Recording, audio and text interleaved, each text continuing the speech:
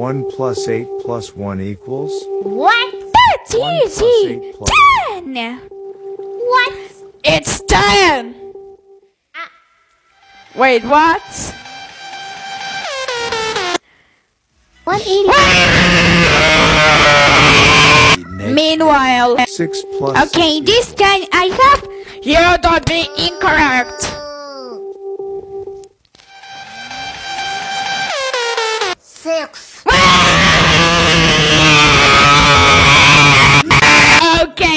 swear, if you don't be correct, I'm gonna be so mad. So please be correct.